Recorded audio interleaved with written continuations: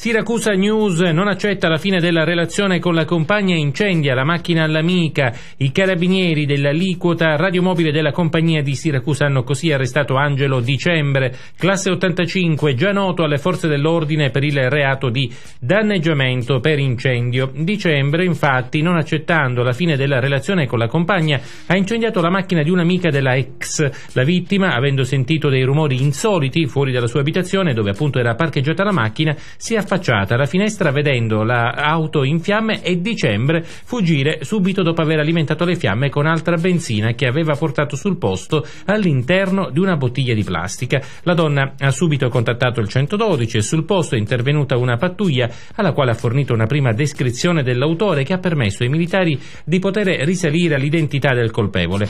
Una volta in caserma l'uomo ha ammesso la sua responsabilità e su disposizione dell'autorità giudiziaria di Siracusa è stato portato alla casa circondariale di Cavadonna in attesa di giudizio.